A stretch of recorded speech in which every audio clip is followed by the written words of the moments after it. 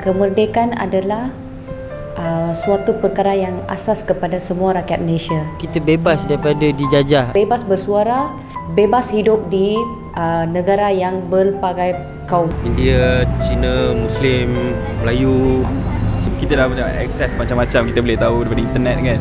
Dah hidup aman tanpa ada sebarang kecaman ataupun jajahan. From all the history that we got until now, it's been a really, really long way.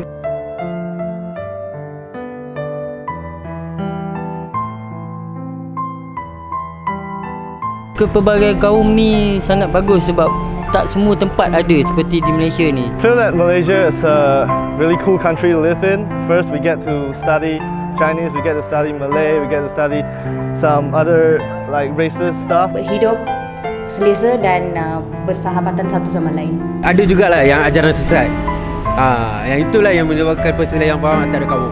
Yang itu kena avoid lah. Untuk kita belajar dan pem- kita boleh belajar daripada orang and orang pun boleh belajar daripada kita lah.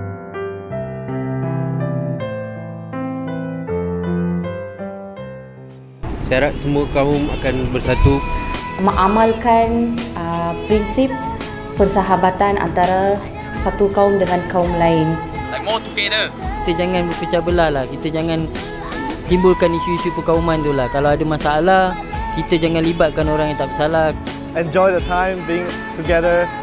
No racism, no nothing, no politics and everything. Just be together and stay awesome.